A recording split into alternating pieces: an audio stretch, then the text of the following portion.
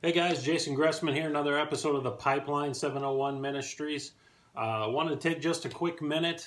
Um, the weather outside is lousy, and I've been trying to get ready to uh, go turkey hunting. And uh, in that process, I, have noticed that uh, with the farmers going around, me trying to get ready in and out of the garage, in and out outside, trying to prep some things, that uh, there are more and more mice showing up. And with the more and more mice, like my wife cannot stand mice out of all things. Like she cannot stand mice. And so it really in my life, I've been given just about any and all resources necessary that I would need to be able to take care of the mice in our area. And so that got me thinking about the different traps and stuff. I've trapped a lot of things in my life.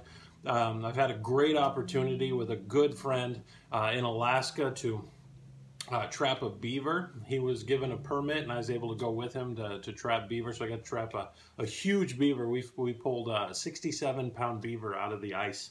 And uh, the paddle on that thing, man, was like a tennis racket. It was huge.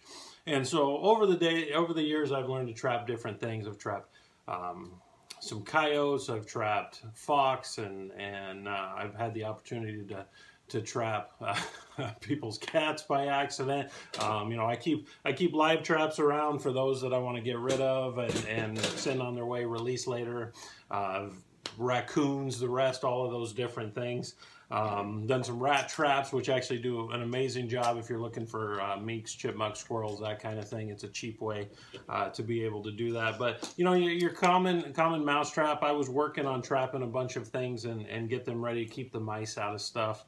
Um, another thing we have by the fields, because we have uh, fields that are being farmed around our houses, the dirt gets moved, and, and when it's getting tilled up, when it's getting planted and seeded, and they're running tool heads over them and spraying and the rest, we get a lot of these little moles running around.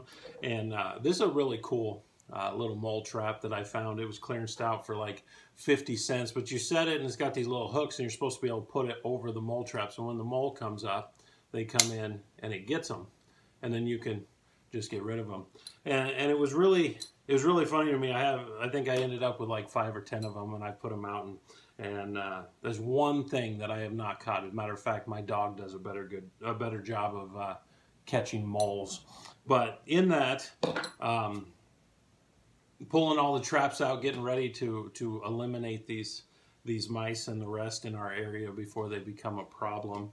Um, got me kind of thinking about this time in life and how people are, are really on edge for things starting to come back.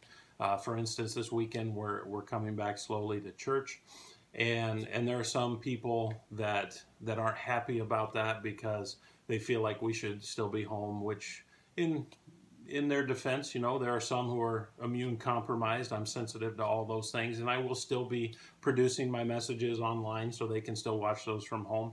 But then there's still those that have been upset that we haven't come back sooner. And so it's really a lose lose situation. There's not really any good place to be able to put ourselves. What we do need to focus in on this time is what is it that God is asking us to do with us, not with everyone else and not their other decisions. Because what that can become is, is a trap that we get stuck in. And if we're not careful, then we can be sucked in through these traps to start sinning in our life, sinning against the Lord. We could be hurting other people with all these things going on. We can get wrapped up in the politics of it, the conspiracy theories of it, the naiveness of it. It really doesn't matter. We can get stuck on all sides of this and hurt someone no matter which side we happen to be on. So we need to be careful and we need to watch for what is sucking us into a trap into our life. We need to know where our information comes from. We need to know the source that we choose to stand on in our life. So in uh, Exodus 34, verse 12, it says, Be careful, do not make a peace treaty with those who live in the land where you are going. They will be a trap to you.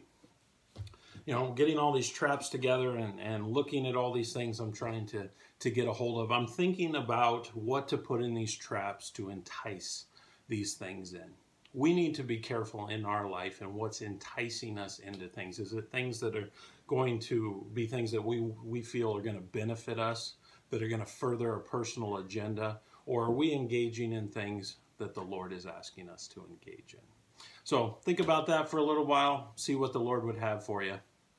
Hope to see you again down the pipeline. Have a great day.